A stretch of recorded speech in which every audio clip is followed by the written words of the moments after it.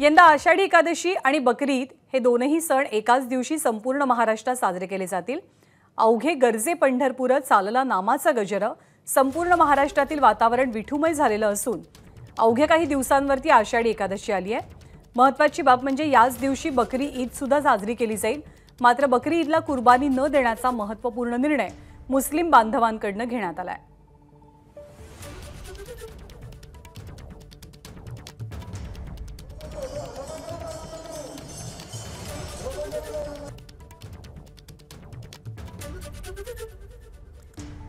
छत्रपती संभाजीनगरच्या वाळूज भागात आषाढी एकादशीच्या निमित्तानं एक बैठक पार पडली. त्याच दिवशी बकरी ईद येते त्यामुळे छत्रपती संभाजीनगरच्या वाळूज भागात आषाढी एकादशीला बकरी ईदला कुर्बानी न देण्याचा मुस्लिम बांधवांनी निर्णय घेतलाय.